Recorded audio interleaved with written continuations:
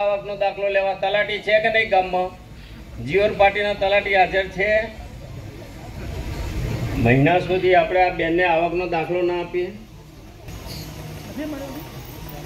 બોલો, આજકાલ તો આવા કાર્ડ બનાવવા માટે આવકની મર્યાદાની ચિંતા નથી કરતા. ગરીબ માણસને આ દસ લાખ રૂપિયાનો લાભ મળે એટલા માટે. આપણી બા બીમારથી હોય તમારી માં, તમારા ખિસ્સામાં પૈસા ના હોય તો મહિના સુધી કોઈ તમને દાખલો ના આપે તો તમે શું કરો? એક મહિના સુધી રાહ જુઓ છો. ભાઈ, કલેક્ટર, તમે તપાસ કરો છો કે આપણા ગામડામાં દાખલાની પેન્ડન્સી કેટલી છે? તો કોણ જોશે? એ તો અત્યારે હું આવ્યો ને બેન ઊભા થયા એટલે. શું નામ બેન? શું નામ બોલે છે? હે? મીનાબેન માછીને દાખલો આપવાની જવાબદારી કોની? એ મહિના સુધી આટા મારે ત્યારે આપશું. તૈયાર તો, તૈયાર છે તો હું સમજુ છું, આ સરકારી જવાબ છે.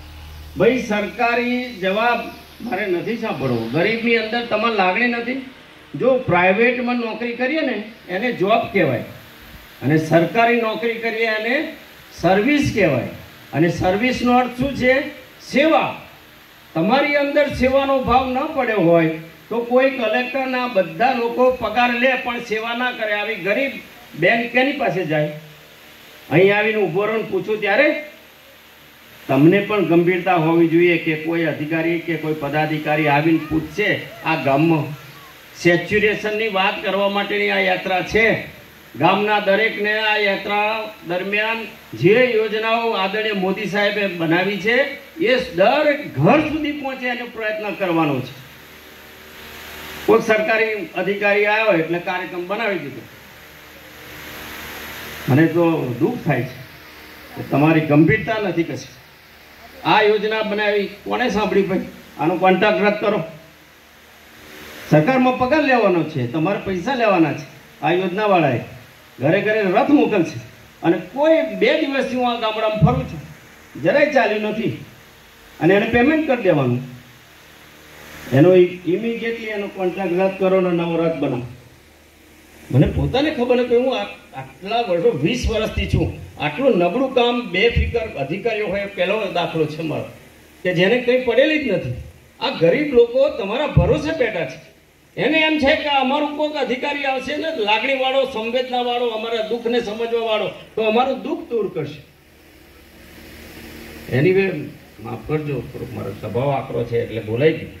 પણ આ કોની પાસે જશે આપણને પીડા થવી છે.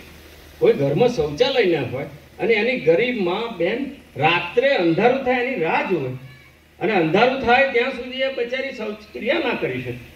અને કોઈ તમારા મારા જેવો કોઈ ગાડી લઈને નીકળ્યો હોય ને એને ફટ તેને ઊભા થઈ દેવું પડ્યું, એ પીડા, એ મર, એના કપડા ઉપર ચોટ્યું, એની દુઃખ, એ દ્રશ્ય આપણાથી સહન કેમ થાય? આટલા વર્ષો પછી પણ એનું દુઃખ કેમ સહન થાય? કે આ મારી મા બેનને આ દુઃખ પડ્યું છે. એ દુઃખની પીડા થવી જોઈએ.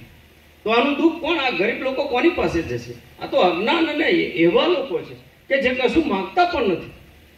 એવા વિસ્તારમાં આપણે કામ કરવા નીકળ્યા છે પૂરી ગંભીરતાથી કામ કરવા નર્મદા જિલ્લામાં. પદાધિકારીઓ પણ ગંભીરતા લે. આ તો તમે મત લેવા, તમે હું પાંચ વર્ષે લોકો વચ્ચે જઈએ. પાંચ વર્ષ સુધી શું કરીશ? આ કોની પાસે જશે? આ કાર્યક્રમનો હેતુ એ છે કે લોક જાગૃતિ ફેલાય લોકો સાથે સંવાદ થાય. સો ટકા સેચ્યુરેશન થાય. આપણે સમજીએ પ્રેક્ટિકલી બધી વસ્તુ. સો ટકા ન થાય. પણ એ દિશામાં આપણા પ્રયત્નો તો થવા જોઈએ. કોઈનું દુઃખ ઓછું કરવા માટે આપણે ખરા મનથી પ્રયત્ન કર્યો છે. ખરો? કરવો જોઈએ ઈશ્વરે આપણને આ તક આપી છે. તમને મને મંત્રી, સંસદ સભ્ય, ધારાસભ્ય શેના માટે બનાવ્યા શેના માટે બનાવ્યા છે? લેગા જબ્બા પહેરીને ફરવા, ભાષણો કરવા? આ ગરીબનું દુઃખને સમજવા કે એનું દુઃખ દૂર કરવા? આ ભાવના ના હોય. તો શું? આ કોની પાસે જશે? અને એનો એકવાર તમે એના આશીર્વાદ મેળવી જુઓ. એના આશીર્વાદમાં એટલી બધી તાકાત છે, તમારું મારું બધાનું કલ્યાણ થશે. આપણે સર્વે સંતો સુખીના વાત કરી.